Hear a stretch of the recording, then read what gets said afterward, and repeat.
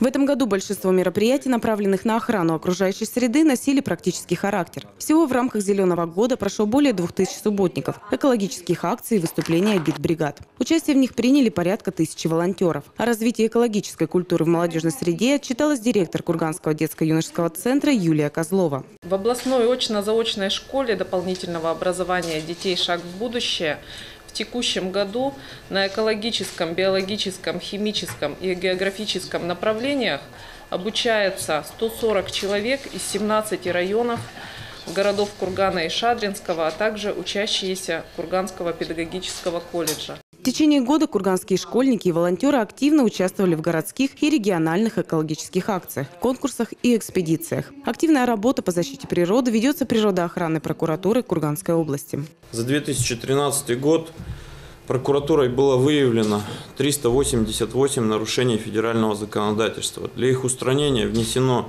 72 представления, по итогам рассмотрения которых к дисциплинарной ответственности привлечено 84 должностных лица, Опротестовано 19 незаконных правовых актов. Кроме того, в ходе пресс-конференции директор департамента Игорь Некрасов отметил СМИ, которые внесли вклад в распространение информации о природоохранной деятельности ведомства и вручил им благодарственные письма. Елена Шевкунова, Алена Анашкина, Никита Мухин, Кирилл Филимонов. Информационное агентство «Курган.ру».